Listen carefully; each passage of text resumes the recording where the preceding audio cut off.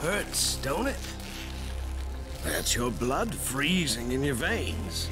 Now, you see what keeps everyone on my ship in line. The chains. Well, they're really just for show.